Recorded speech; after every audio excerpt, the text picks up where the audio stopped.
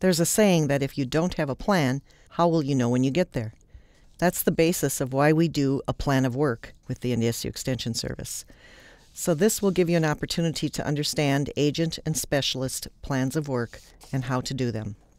The NDSU Extension Service receives funds to develop educational programs that meet the needs of North Dakota citizens in four program areas agriculture and natural resources, community vitality, 4 H youth development, and family consumer sciences. Four program leaders coordinate the work of 10 program teams. Those 10 teams are Community Vitality, Livestock Management, Farm Business Management, Crop Management, Natural Resource Management, Family Economics, 4 H Youth Development, Human Development and Family Science, Nutrition, Food Safety and Health, Horticulture, and Forestry. Each team engages in a process to identify the educational programs that are delivered in the state. The state and area specialists will contribute to or be involved in designing and delivering programs for at least one team's program menu.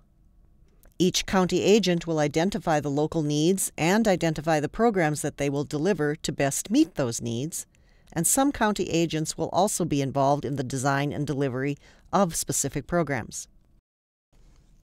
Each year, all 10 program teams meet at the fall conference to finalize their plans for the year. The teams also meet during the year, as directed by their team leaders, to work on their plans. But by December 1st, a final program team menu is posted online for everyone to review. At that point, all staff members are beginning to work on their plans of work. By January 15th, you submit your plan of work. Templates for doing your plan of work are located online. What do I list on my plan of work? You need to consider what are the program team goals. What are your constituents asking for? What are the identified needs in my county? As an area or state specialist, what are the identified needs and priorities within my subject matter area? How will I specifically contribute to the program team goals? And what are the professional development needs? We'll begin with the Extension Specialist Plan of Work. Whether you're an area or a state specialist, you are asked to take a look at the team menu and determine which of the programs are you specifically going to contribute to? And what is your role in delivering the program that's listed, whether it's a signature, core program, or pilot program?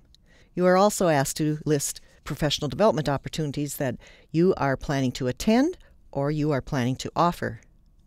Once you've completed the plan, you submit it to your program leader. Upon approval, the program leader will send a copy to the chair, head, or director of your department for their use. The extension agent plan of work is very similar, but a little bit more detailed. Each agent needs to ask, What are my plans for major programming in the coming year? You don't need to list everything. We ask that you consider four programs for this plan of work. These four programs identified will then be used during your performance review in the following year. One program must be a signature program, one must reflect your 4 H youth development work, and two others are at your discretion. But the point is, for all of them, focus on a program where you have a teaching role. Complete your plan of work, identify the teaching role you will have, also list your professional development opportunities. If you are using a signature program, you can attach the action plan that is located online with that signature program in the team menu. If you are using a core or part of a pilot program, you will need to complete a county program action plan. The link to that is also on this page.